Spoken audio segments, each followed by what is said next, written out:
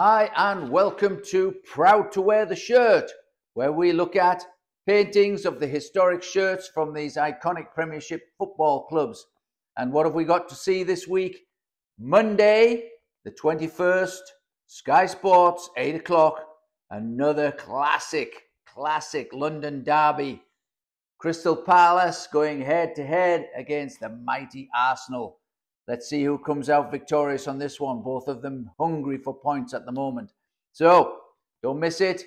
Monday, 21st of August, 8 o'clock, Sky Sports. Stay with me now while I show you my hand paintings of these iconic shirts. Till next match, all the best now. Bye bye.